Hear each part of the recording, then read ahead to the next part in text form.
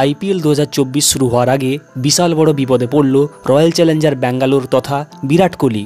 দু হাজার চব্বিশ আইপিএলের জন্য তো এইমাত্র কলকাতা নাইট রাইডার্স তার নতুন জার্সি এবং ওপেনারকে নিয়ে বেশ বড় একটা আপডেট দিয়ে দিলই। তার পাশাপাশি এই আইপিএল দু হাজার চব্বিশ শুরুর ঠিক আগের মুহূর্তে চেন্নাই সুপার কিংস এবং গুজরাট টাইটান্স খেলো আবারও একটা বড় ধাক্কা।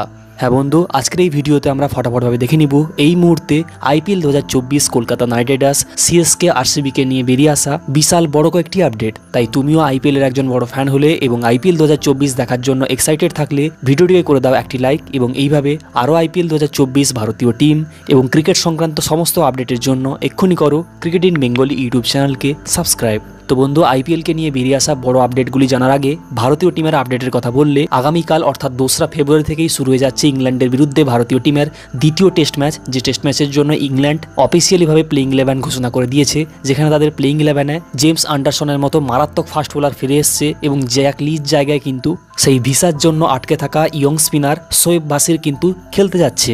এবং ভারতীয় টিম কিন্তু একজন পেসার এবং চারজন স্পেশালিস্ট স্পিনারকে নিয়ে মোকাবিলা করতে মাঠে নামছে। তো আইপিএল দু হাজার নিয়ে বেরিয়ে আসা প্রথম বড় আপডেট।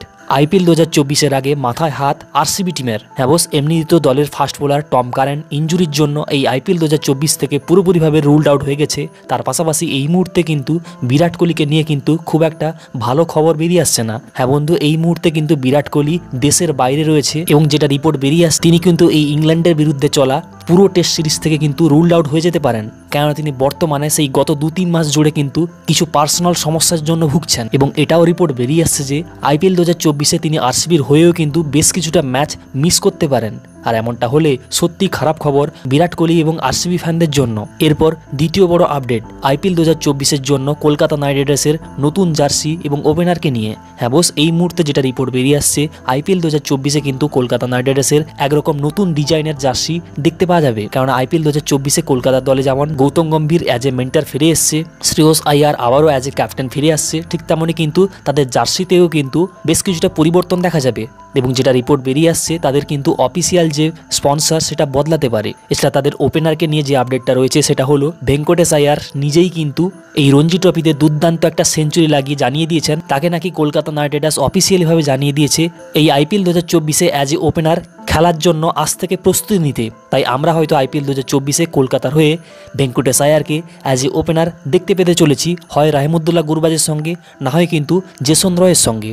এরপর বেরিয়ে আসা পরের বড় আপডেট আইপিএল দু হাজার চব্বিশ শুরুর আগে চেন্নাই সুপার কিংস এবং গুজরাট টাইটান্স খেলো আবারও বড় ধাক্কা। হ্যাবস ইংল্যান্ডের বিরুদ্ধে প্রথম টেস্ট ম্যাচ খেলতে গিয়ে যেখানে রবীন্দ্র জাদেজা হ্যামস্ট্রিং ইঞ্জুরিতে চোট পেয়েছিলেন, সেখানে এই মুহূর্তে রিপোর্ট বেরিয়ে আসছে যে রবীন্দ্র জাদেজাও কিন্তু ইংল্যান্ডের বিরুদ্ধে বাকি টেস্ট ম্যাচগুলো থেকে রুলড আউট হয়ে যেতে পারেন।